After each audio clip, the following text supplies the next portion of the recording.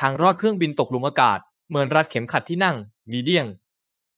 หลังจากที่เครื่องบินของสายการบินสิงคโปร์แอร์ไลน์เที่ยวบิน SQ321 ได้เกิดเหตุการณ์วิกฤต ระหว่างที่เครื่องบินที่โดยสารที่เดินทางมาจากลอนดอนตกหลุมอากาศอย่างรุนแรงทำให้ผู้คนบนเครื่องบิน และข้าวของกระเด็นกระดอนไปทั่วทั้งห้องโดยสาร ในช่วงสัปดาห์ที่ผ่านมาทำให้ผู้โดยสารและนักเดินทางต่างวิตกกังวลถึงความปลอดภัย ในระหว่างการโดยสารบนเครื่อง ในช่วงที่เกิดวิกฤตที่เกิดขึ้น โดยไม่คาดคิด ในช่วงไม่กี่วินาทีแรกที่เครื่องบินตกหลุมอากาศทำให้เกิดความสูญเสียถึงชีวิตและบาดเจ็บ สายการบินสิงคโปร์แอร์ไลน์เที่ยวบิน SQ321 ออกเดินทางจากสนามบินฮีทโธรว์ในลอนดอนไปยังสิงคโปร์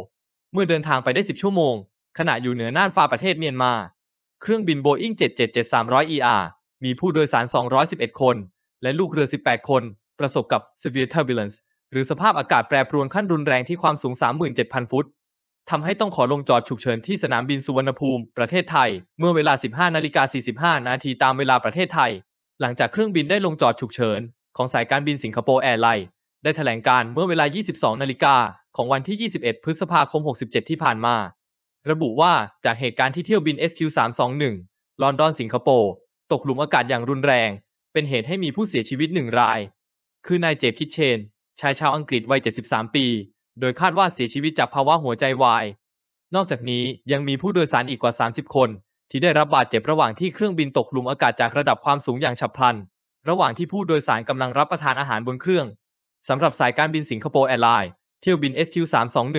ที่เกิดปัญหาที่เรียกว่า severe turbulence หรือสภาพอากาศแปรปรวนขั้นรุนแรงที่ความสูง 37,000 ฟุต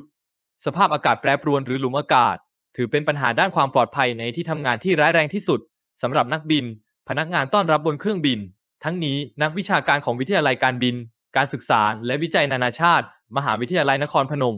ได้อธิบายถึงปรากฏการณ์ที่เกิดขึ้นว่ามีสาเหตุมาจากอะไรในระหว่างการทำการบิน รวมถึงวิธีการของผู้โดยสารที่อยู่บนเครื่องจะต้องปฏิบัติตัวอย่างไร เพื่อให้เกิดความปลอดภัยตลอดเส้นทางการบินได้อย่างชัดเจน ว่าต้องรัดเข็มขัดที่นั่งบนเครื่องบิน ซึ่งจะช่วยบรรเทาปัญหาได้ในระดับหนึ่งโดยเฉพาะในช่วงที่เกิดภาวะวิกฤตบนเครื่องบินที่พนักงานต้อนรับไม่สามารถประกาศแจ้งเตือนได้ทันที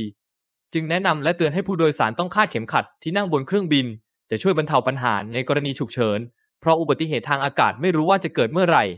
ถ้าเกิดเครื่องบินตกหลุมอากาศเครื่องกระแทกแรง ตัวเราอาจลอยไปกระแทกกับผนังด้านบนได้ เพื่อป้องกันเหตุการณ์นี้ แนะนำให้คาดเข็มขัดเอาไว้ตลอดดีที่สุด ทั้งนี้ผู้โดยสารบนเครื่องบิน สามารถปรับระดับเข็มขัดบนเครื่องบินให้พอดีตัวได้แบบไม่อึดอัดทำกันให้เป็นนิสัยเพื่อความปลอดภัยของตัวเอง